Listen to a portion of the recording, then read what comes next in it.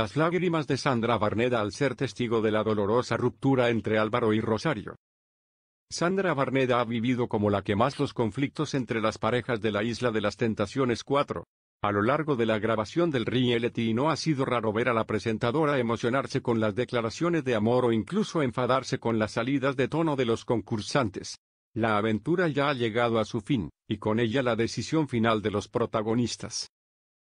Una de las hogueras más emotivas ha sido la protagonizada por Álvaro y Rosario.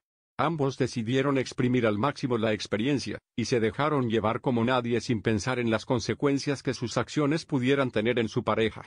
Mientras que ella sintió una conexión muy especial con Suso, él hizo historia al formar parte del primer trío de la historia del programa. Sin embargo, al verse las caras los sentimientos entre ellos afloraron y la rabia se convirtió en dolor. Ella es la persona más importante de mi vida, y yo sé que también le he fallado. Yo a Rosario no la quiero, la amo. Siempre va a ser la mujer de mi vida, se sinceraba Álvaro.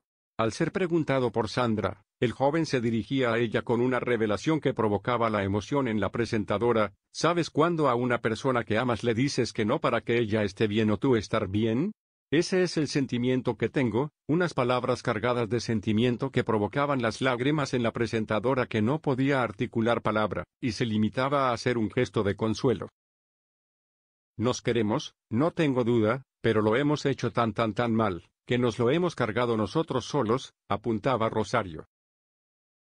Finalmente, Álvaro decidía irse solo y Rosario apostaba por su relación con Suso.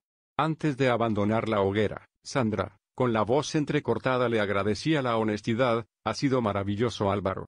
Espero que seas muy muy feliz. Ya sola, Rosario rompía por completo con su ya expareja, y lanzaba al fuego el anillo que le ha acompañado durante los cuatro años de relación.